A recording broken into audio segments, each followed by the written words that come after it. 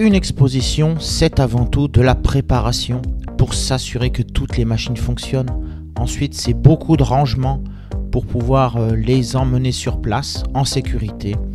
Puis, euh, il faut tout décharger tôt le matin dans la pièce, monter les tables et enfin, on peut commencer à préparer l'exposition.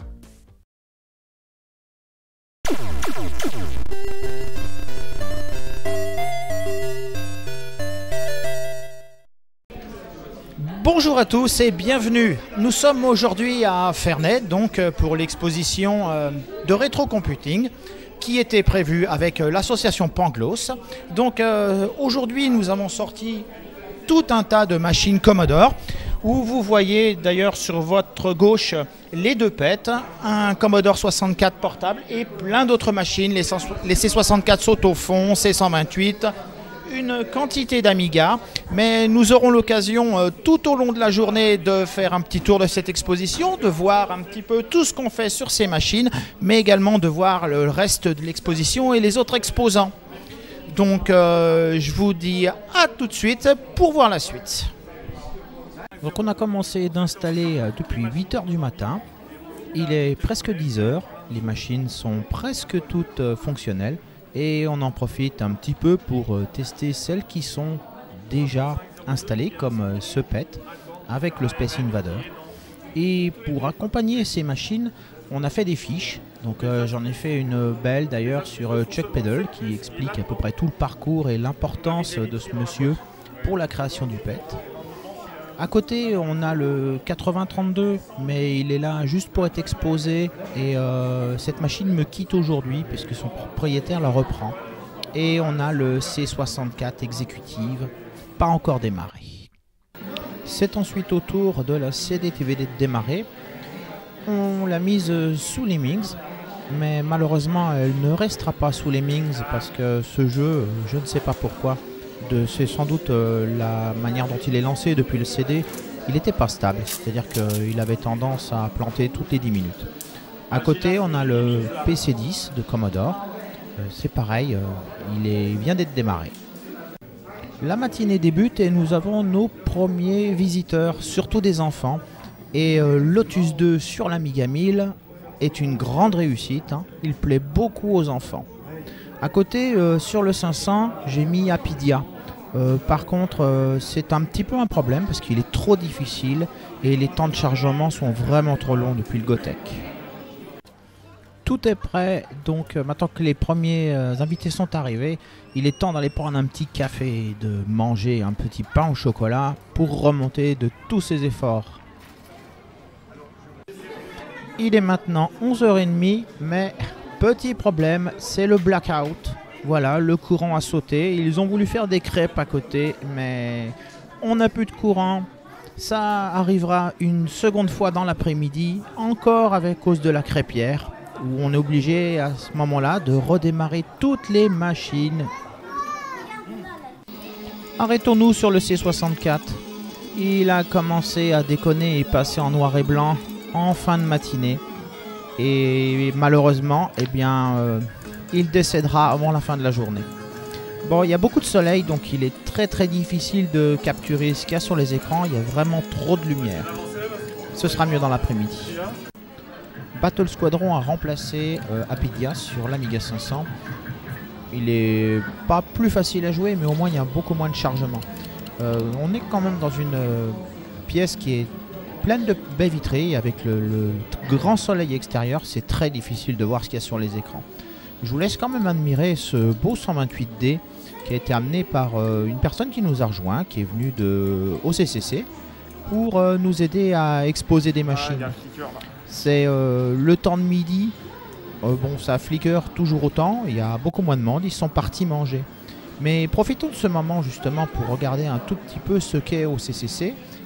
Comme il est venu avec son affiche, je peux vous la montrer. Et comme tous les ans, on a notre grande fresque qui décrit beaucoup de machines. Mais je pense que c'est la dernière année où on va amener cette fresque, on va la refaire. Elle a 4 ans et il faudrait vraiment qu'elle soit mise à jour. On a bien sûr euh, des affiches un petit peu partout. En tête d'exposition, on a mis deux consoles, on a mis une NES et on a mis une Mega Drive. Ça permet d'attirer euh, les jeunes sur des jeux qu'ils connaissent, comme des Mario ou sur la Mega Drive euh, des jeux de combat. Nous sommes à la fête de la science et de la biodiversité.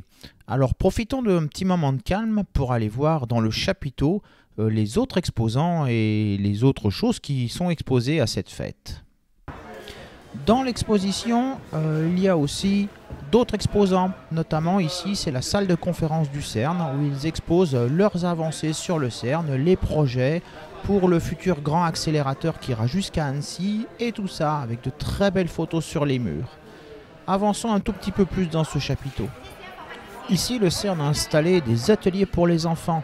Il s'agit dans celui-ci de reproduire des images des installations du CERN ou des représentations euh, de collisions à haute énergie.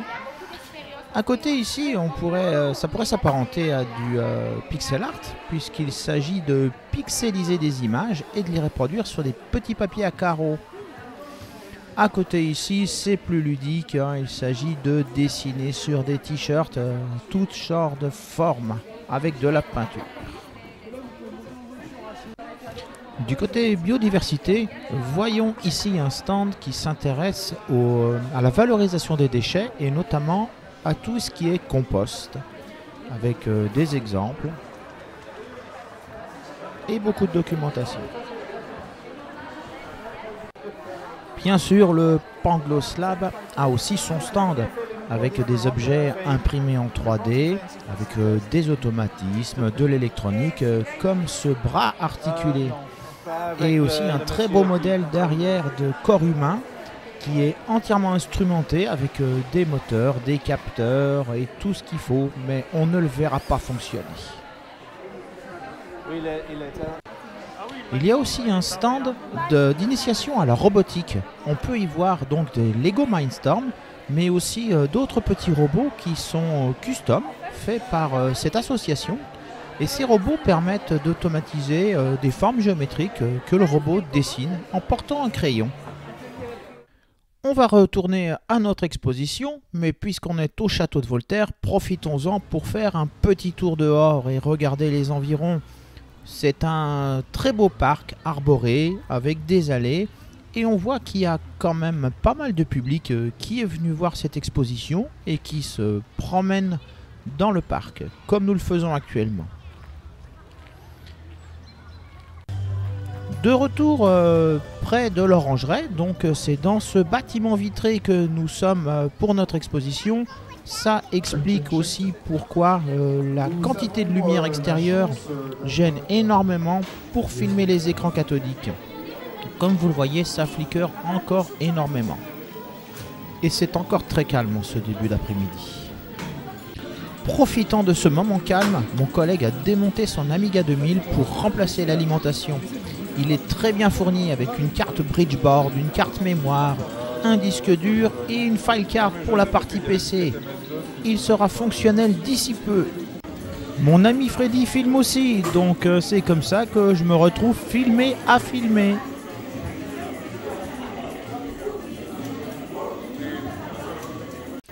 Il est maintenant 3h30 de l'après-midi et le ciel est nuageux dehors, ce qui nous permet d'avoir beaucoup moins de lumière directe du soleil et d'admirer ce très beau Amiga 1000 sous Lotus 2. À côté, euh, on peut voir le Battle Squadron sur ce 1085 en parfait état. Et sur le 1002, on a un Pang. Bien sûr, euh, sur toutes ces machines, nous avons toujours les fiches qui permettent de les décrire. Que ce soit euh, le 1002, l'Amiga 1000 ou toutes les autres machines. La CD32 sur laquelle je suis passé un tout petit peu vite ici, et euh, sans aucune modification. Et on l'a mise aussi sous Lotus 2 pour, euh, parce que ce jeu est très apprécié. Un petit peu plus tard, on a mis Toki sur la CD32. Eh bien, les jeunes apprécient aussi ces jeux d'arcade, mais euh, c'est surtout le contrôleur qui leur va beaucoup mieux que les joysticks.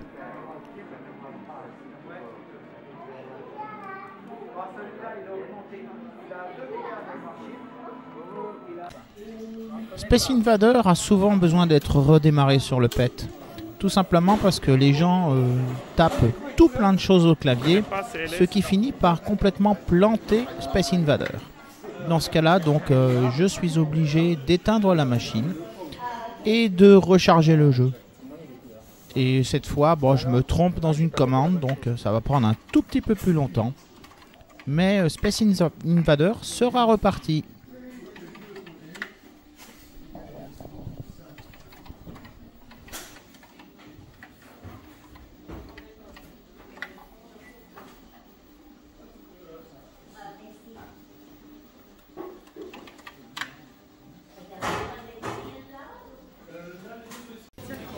Le PET n'a pas un très grand succès, mais c'est surtout dû au fait qu'il ne se passe rien à l'écran et qu'il faut faire B to begin. Donc c'est ce que je fais régulièrement. Par contre, le C64 Executive, lui, euh, il est assez prisé. Et c'est rigolo cette machine avec son écran qui fait euh, vraiment HD quand on le regarde à distance normale. Voici comment les enfants jouent sur cette machine.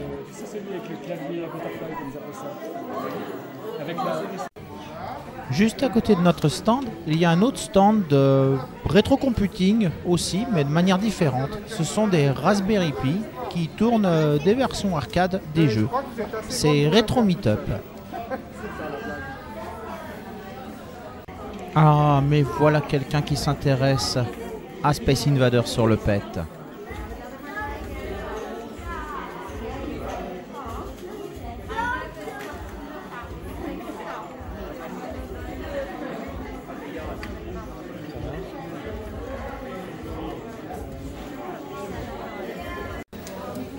C'est au tour de Duck Hunt sur la NES.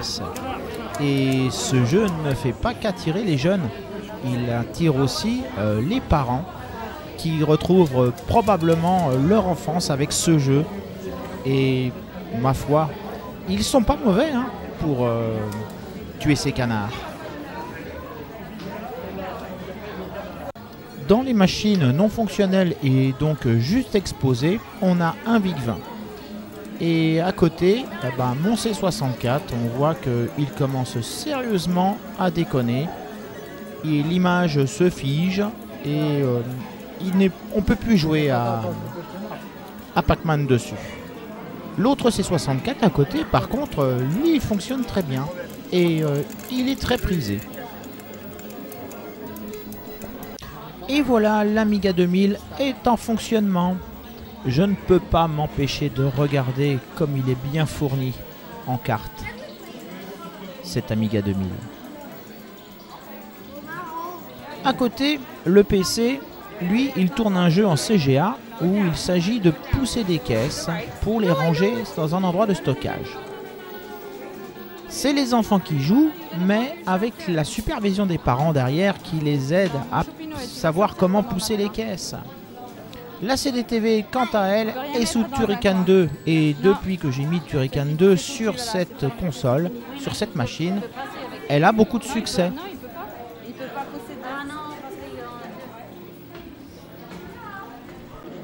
Encore une belle vue sur ces trois Amiga utilisés par des enfants avec euh, les boîtes de manettes euh, en décoration,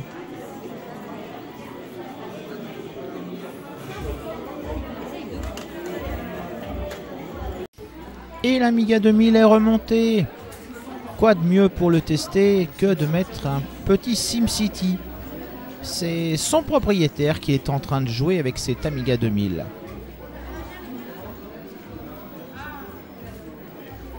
Si la machine a un lecteur 5 pouces 1 quart, c'est parce que ce lecteur est raccordé à la carte PC et il est dédié uniquement au PC.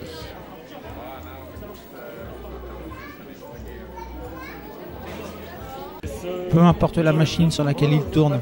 Tetris, un jeu de toute une génération.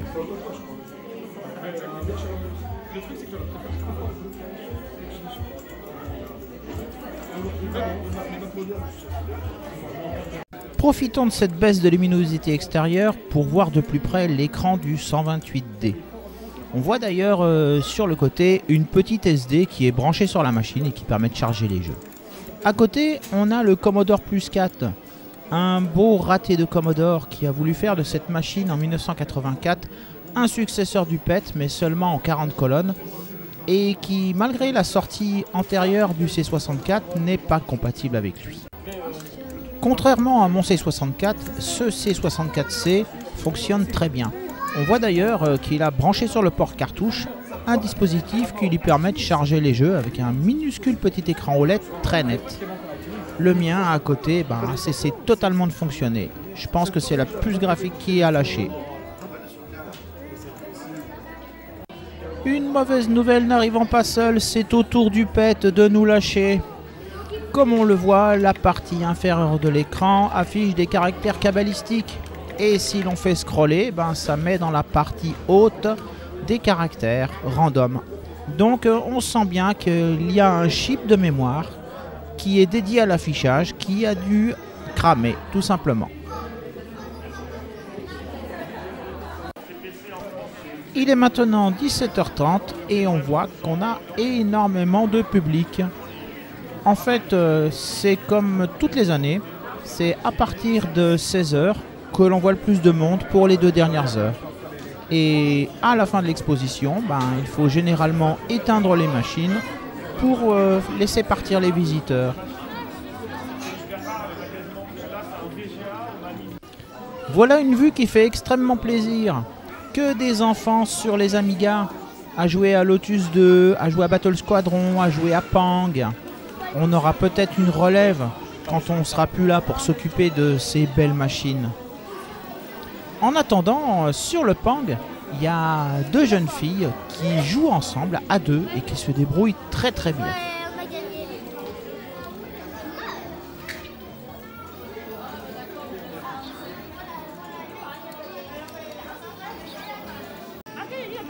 Regardons donc euh, quelques instants ces jeunes filles maîtriser ce jeu.